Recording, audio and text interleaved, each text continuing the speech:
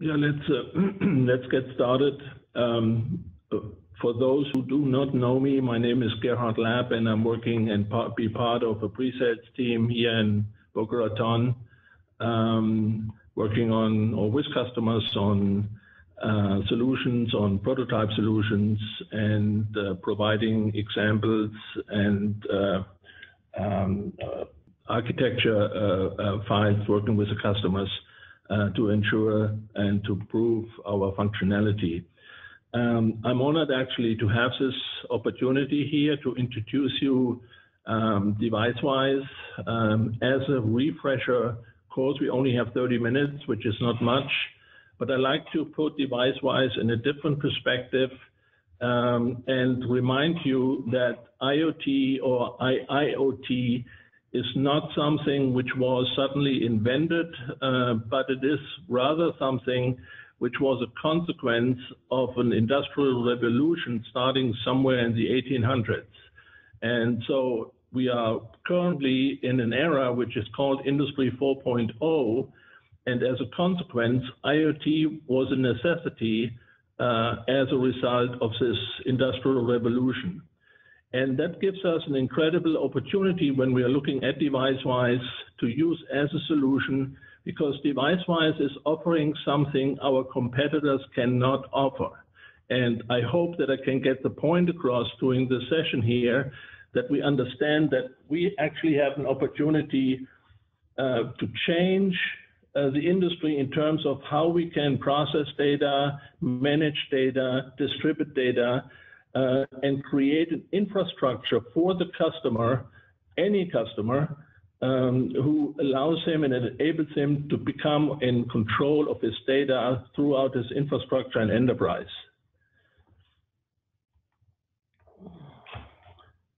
Screen sharing? Yeah. This is a slide which probably many of you know and realize, Uh, where do you get the I/O for the IoT? And it was actually National Instruments who created the term big analog data, a term trademarked by National Instruments, and it comes simply from dozens to thousands of sensors and devices spread across your asset, facility, or entire fleet. And please realize that we have been separating deviceWISE and deviceWISE solutions among factory, for example, or among uh, uh, portal deployments and platform deployments, uh, where we look at distributed sensors or remote sensors. Um, at the end, the key is what we are capable to do is not only collect data and different types of data, which are coming from sensors, measuring vibration, pressure, and flow, or cameras performing thermal scanning and pattern matching, or motors sending precise waveforms to execute control algorithms. It is all about the data point itself. And as a consequence, in a hyper-connected world, regardless where it is or where it resides or who is managing, regardless of machines, infrastructures, devices, the data are the key, and they come from anywhere. This is very critical to understand, and a lot of companies offer solutions in an uh, old-fashioned way that they simply focus on, okay, let's read a data point and then what to do with it.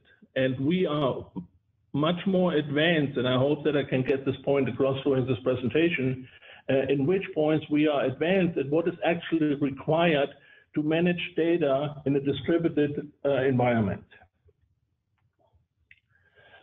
I put this slide up to show you the Industrial Revolution timeline, and you see that uh, close to 2000 is where the Industry 4.0 became um, or was kind of announced by many governments, actually, and it has, again, nothing to do with factory or manufacturing. It is IoT is an evolution based on the Industrial Revolution over the time, starting with the 1800s. So there was no data collected or present, basically, in the first and second um, um, industry era, um, because it was all based on mechanics. Uh, whether it was a production line or anything else, it was a mechanical solution. Uh, even assembly lines that were mechanical, And then with the revolution of Industry 3.0 is where companies start automating assembly lines and stations. And the only purpose of collecting data, whether they came from sensors or they came from PLCs, was simply to visualize and to control assembly lines, and then eventually maybe connect the MES systems or ERP systems. But for the longest time in Industry 3.0, even until today, ERP systems never had an interest in uh, processing real-time data. Um, the most famous one is SAP, uh, because their motto was always that um, real-time data, our statistical analysis, uh, predictions are sufficient enough uh, to calculate the load of any manufacturing or assembly line and uh, to define uh, the needs for, for manufacturing, for example. But with today's trend uh, enabled by Industry 4.0, when we look at Industry 3.0, the structure among all the different components we connect um, it was very well based on on hardware. Uh, it was extremely static.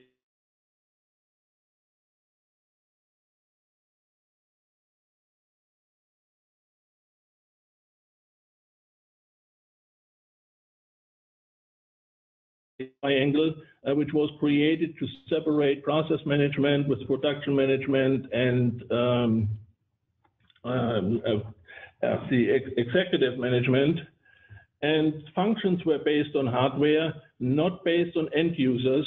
And it all allowed you to create and automate isolated products. Uh, the requirement of Industry 4.0 is completely different in terms of that now anyone wants to create smart products and use smart products. So they not only want to produce a product, but they also want to understand the utilization of the product in the field.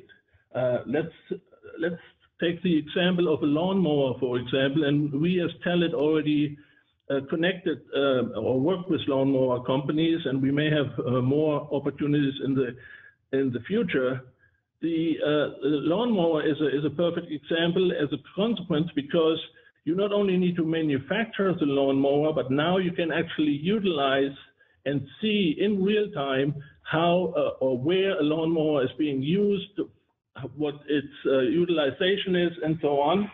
So it's not just a manufacturing process, but it is also following the product in the real world where they are being used.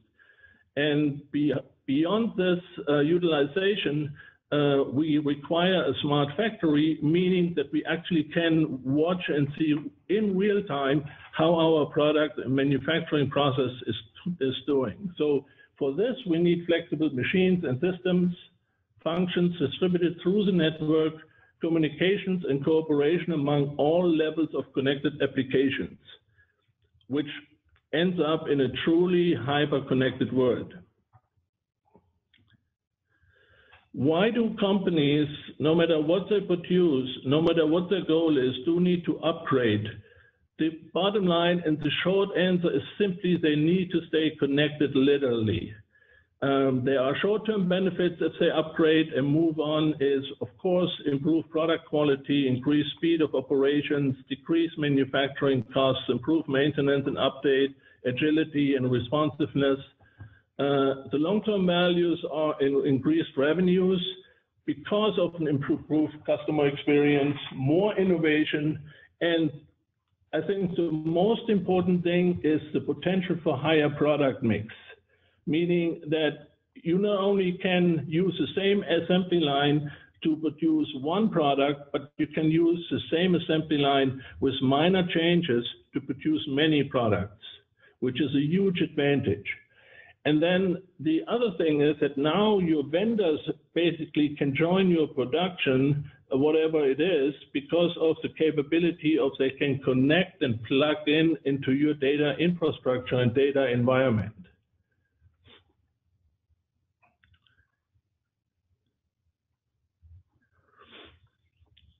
The next few slides I want to show and introduce is the conventional way we currently publish our deviceWISE. Uh, so in other words, the, you need to understand that deviceWISE is a software agent. And I feel like we are not promoting enough the benefits of deviceWISE. Please remember that deviceWISE as a software agent is hardware and software independent. It's, a, it's a, an agent which you install on many hardware platforms and we keep pushing this and we keep porting deviceWISE so that we can run on existing hardware that companies do not have to change anything. So one of the key factors is that deviceWISE runs on many platforms. The next step is that deviceWISE has a huge library of interfaces available to you. In other words, um, for example, I would rather see an asset gateway used in a lawnmower as an example than trying to convince the customer if they want to de develop and um, write their own firmware or even their hardware board uh, because there are features which deviceWISE offers which would take a very long time for customers to reproduce. Uh, if I can uh, remind you, features like store and forward, redundancy, uh, different means of reading data, things like this, which we're going to get a little later in this presentation, what's so important about deviceWISE, why it should be used rather than trying to reinvent the wheel.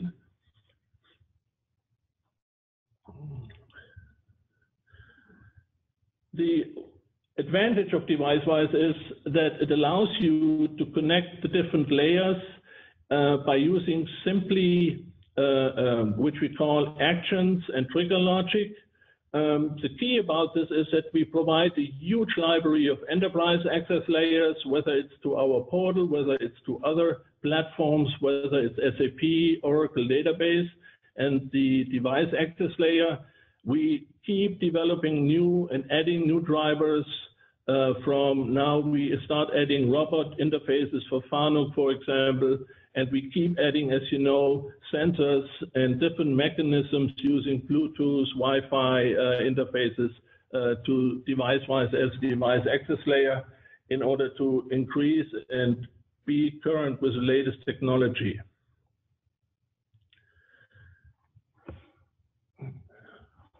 What deviceWISE, when we use deviceWISE, when we use the asset gateway at the edge, what this enables us is actually exactly um, the, the, the, this, this uh, layout and this um, image uh, is a very good image because it shows all the different layers and all the different tiers within which I call a data-centric infrastructure our deviceWISE has a capability to manage this data-centric infrastructure. So we as Telit cannot only or do not only come in as someone who can connect two components like a sensor uh, with something else or wherever this data goes, but when we use deviceWISE as a uh, strategic tool within a corporation, we can create a data-centric infrastructure so that anyone who comes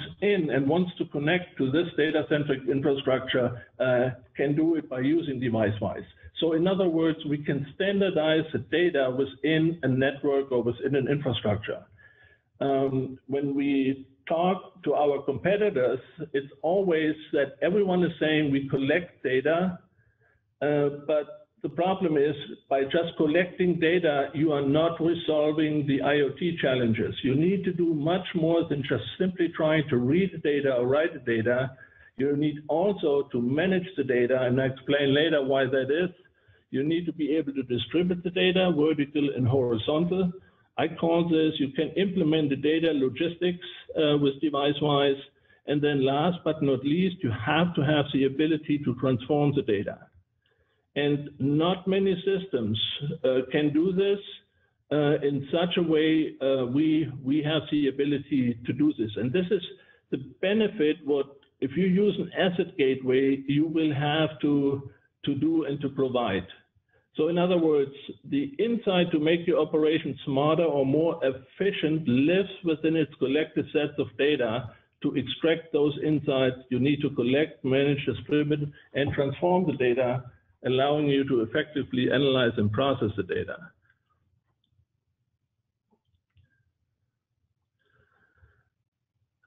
We collect data in real time. Every other vendor will tell you, I can do this too. What the others do not do in this context is to answer the question, what is actually required to effectively collect data? Um, I don't know if you are familiar with the OPC world in the manufacturing environment, or you use LoRa or um, any other mechanism to read the data. In many cases, you are limited to the driver functionality uh, someone wrote to access this information. And this is exactly where we have an advantage because when we write a native driver, and this is also very important, that we provide native drivers and not use libraries or, or some other uh, mechanisms. Um, so another, uh, because having the ability to write native drivers gives you the, um, the ability that you can uh, process the data in different forms. So in other words, you become flexible. Sometimes you need to read individual text, like an analog value, process value, speed, velocity, whatever. But many times, for example, if you want to use data collection for uh, for analysis, for big data analysis, for statistics, uh, the statistical people are not interested in individual process values, but they are interested in a whole, an entire array of a chunk of data. Uh, in other words, you want to be able to read hundreds of uh, megabyte of data. Or if you use a camera interface, you want to be able to stream data. And for that purpose, you have to have the capability to use a native driver, which we always do to provide functionality that we can uh, uh, read strings and binary-based data collections, bulk and arrays, unsolicited message support, and so on. FTP and HTTP support, or use shared drive technology that we can use uh, or pick up data from, from um, a shared drive in form of a file.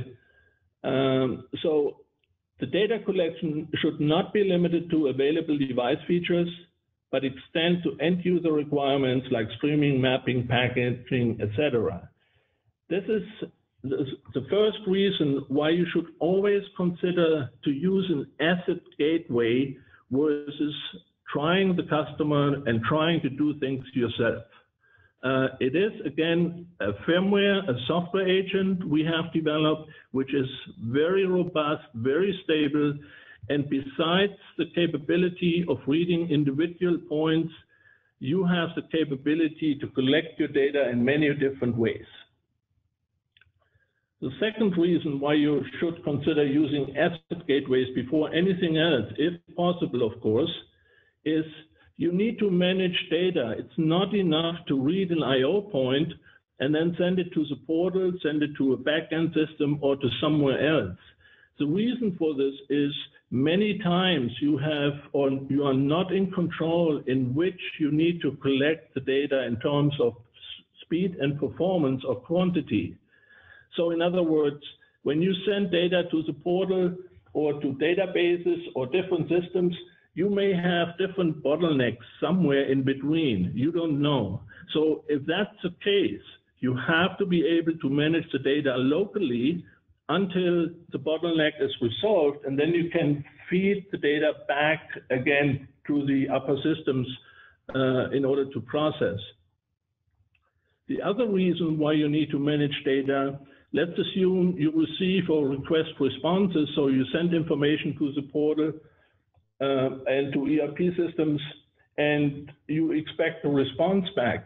Many times the response is much slower than your device you're communicating with, so the speed in which both sides are operating are completely different. So for that, the response may take several days, uh, while you need to wait, or uh, whatever the reason is, why you need to wait for the response to arrive. In other words, you now need to have the capability to locally store that information so that you can map the response to the proper uh, request. To standardize the data among different systems, the end user should not have to be concerned about different data types and data presentations among two systems. The data presentation remains transparent regardless of its origin. That's the third very important point. In other words, when you move your data environment into deviceWISE using an asset gateway, the data itself become transparent to anyone who can use or uses asset gateways anywhere else on any other location. Suddenly you can connect customers through the portal to asset gateways somewhere running uh, remote, uh, whether it's this lawnmower example or fleet management or anything else, you have a complete, transparent, and consistent um, data view within your deviceWISE environment. So look at it like as a spider web where you have all the different asset gateway nodes which you suddenly can share and very easily share data um, no matter to which systems they are connected. And uh, sometimes I feel we are not taking enough advantage of this capability.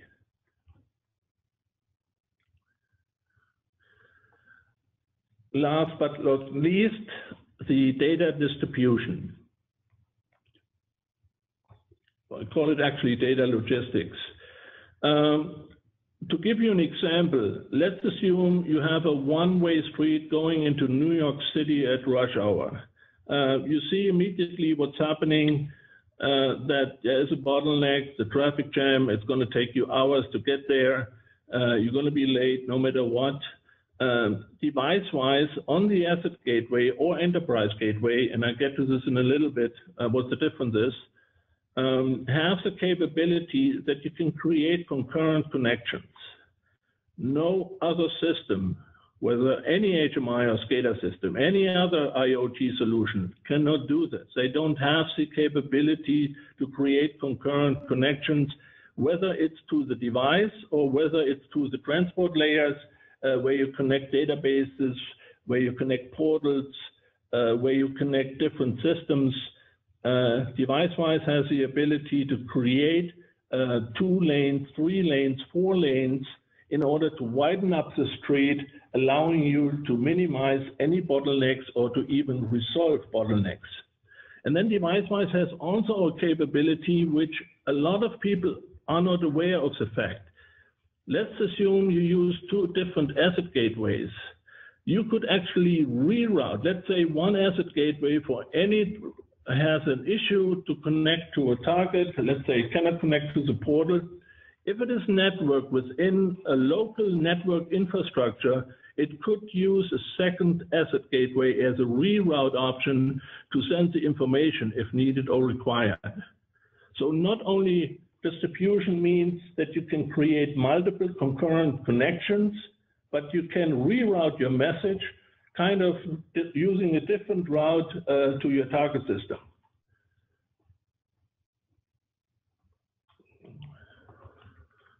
So in general, data logistics allows you to effectively route and package your data using several pathways within your network capabilities. For example, it is critical for data which are collected at the same time to stay together until they reach their target endpoint. To provide a variety of transport capabilities, including concurrency among different systems, to offer alternative pathways for backup and failover scenarios, and to offer different feedback mechanisms based on what the originating system requires. So all those four components are components none of our competition can offer, which we have built in into our asset gateway functionality. Now, what's the difference between an asset gateway and an enterprise gateway?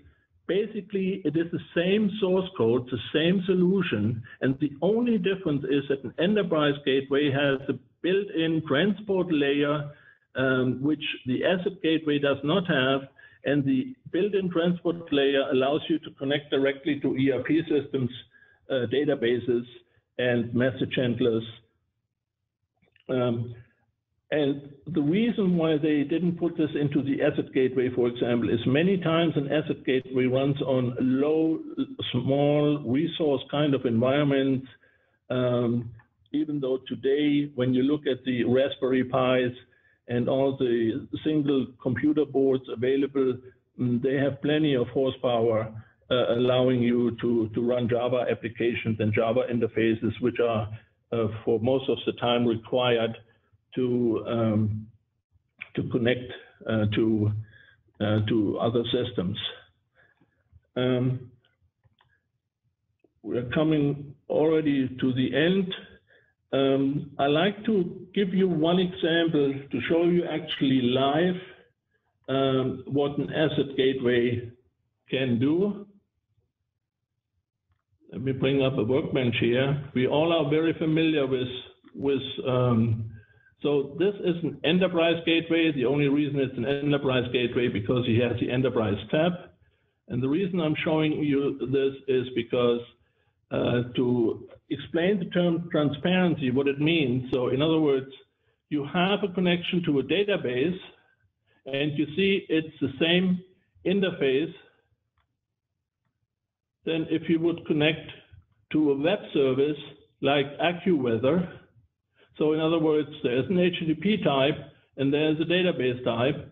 In AccuWeather, it's a little bit different configuration where you provide a URL, but from that point on, everything becomes transparent. So when you communicate with InDeviceWise to AccuWeather, or you communicate with InDeviceWise to a database, you don't even know the difference as a user, and you don't care, and you don't have to worry about it anymore.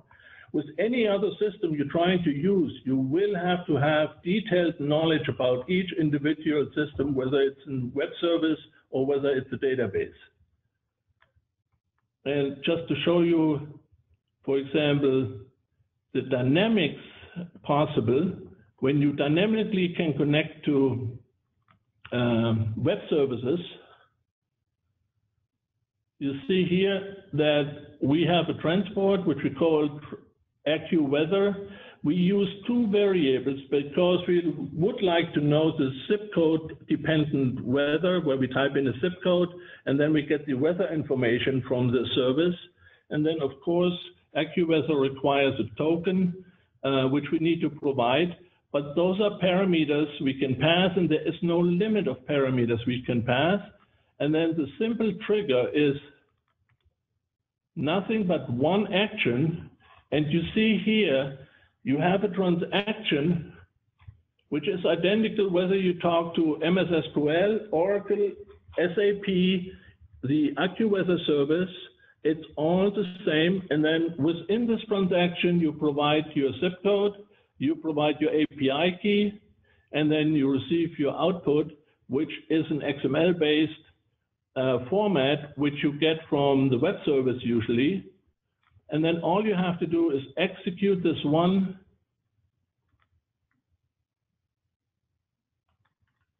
trigger. And then if we look at our reports,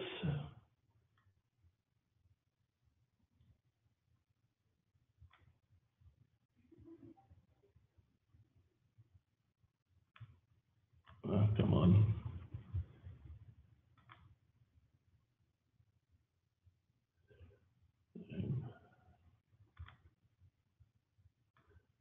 Here we just 10, 17 on this. And uh, hold on.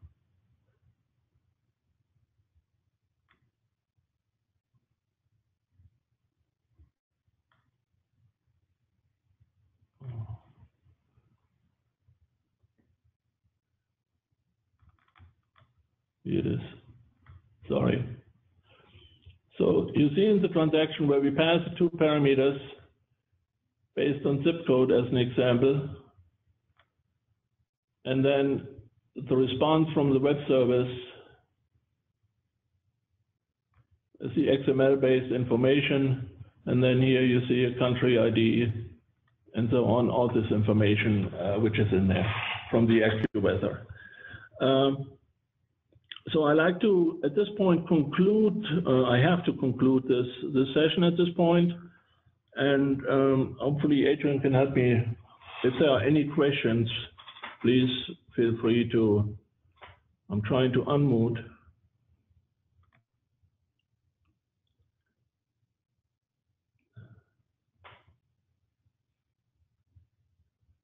Just unmute one at a time. Who? Just one of them. Let you. Yeah, it does. Uh, so if anybody has any questions, uh, please raise your hand or send a message in chat. So we can unmute you. Take the line.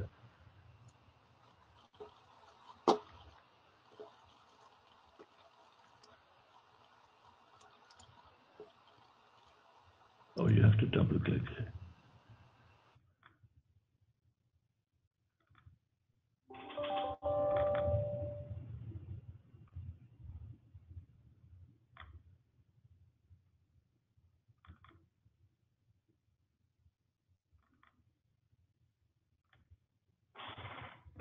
See if that, yeah, but does that indicate somebody having a question?